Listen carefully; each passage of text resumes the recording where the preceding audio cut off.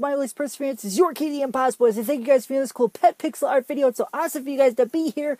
Today's pet that we're doing today is of the wiener dog. For those of you guys who are new to this series, basically what I'm doing is I am making pets that people have throughout the world and I'm turning them into pixel art pieces for YouTube. So if you guys got any suggestions or tips or types of pets that maybe you have that you want to see made into pixel art, you know where to put them is in the com- as the comments below or my social media links and artist statement are in the description below. So feel free to check those out as well. But like I said, today is centered centered around the wiener dog. Uh, basically, before I start talking about the wiener dog, though, I want to explain to you guys though that uh, I am Peter Elvidge in the state of Minnesota. I do pixel art despite my blindness. Um, this means that I take and make my pieces square by square, pixel by pixel. As you can see in the time lapse on the side of my head. Um, so, like I said though earlier, if you're curious about all the stuff, is in the description that you can take a look at. So. Continuing into it. All right, so generally for YouTube, I make my pieces 150 pixels by 150 pixels. Um, and this is only for YouTube. This is specifically because of time management, of making a really cool piece, detailed, but also keeping the very true value of having pixel art, as well as being able to make the time lapses that I do within the week to show you guys these really cool videos at the end of the week. Um, off of YouTube, though, my pieces can be between two and four million pixels. So if you, yeah, you know, all the info is below. I'm not going to say it a third time. You guys get the point.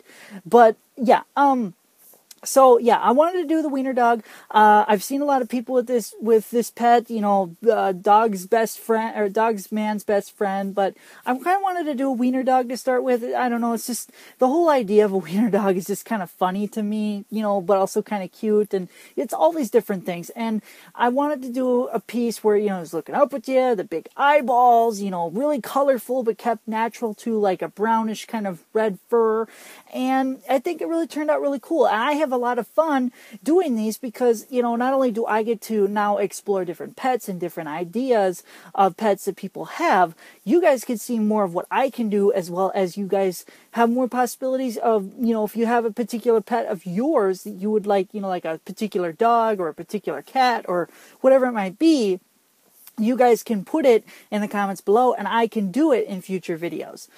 Um, but you know, like yeah, I mean, I have I have fun. So you know, basically, this this video was all about uh, the wiener dog. I had a lot of fun making it. It's very colorful, you know, it's very cute, very funny at the same time. I'm sorry if that offends anybody, but just the whole idea of a wiener dog just kind of uh, is just kind of funny to me. So I'm to end it here because I'm getting a little bit rambly. So I hope you guys enjoyed the video. Like, favorite, share, subscribe if you're not subscribed. More great content coming out and I just don't want you to miss it.